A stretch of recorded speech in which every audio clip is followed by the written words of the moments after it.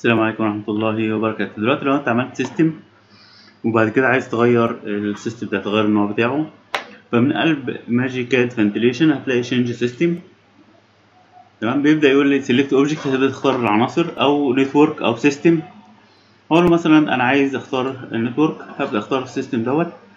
فبيقول لي بقى ال system ده supply عايز تحطه في انهي system تبدأ تختار حاجة تكون supply برضو أو ممكن تعمله system جديد.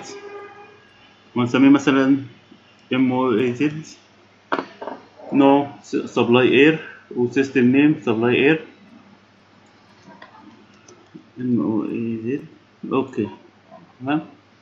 خلاص اتحط أهو supply air معاذ okay طيب عايزين نشوف الموضوع دوت. فهروح ل view وأقول له user interface وأقول له أنا عايز ال system browser يبدأ يعرضه لي هنا أهوت. دي الحاجات اللي unassigned في mechanical piping electrical طبعا هو موجود في ال mechanical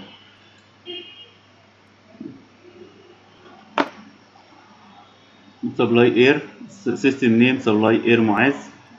لو جينا هنا. قلت له أنا عايز supply air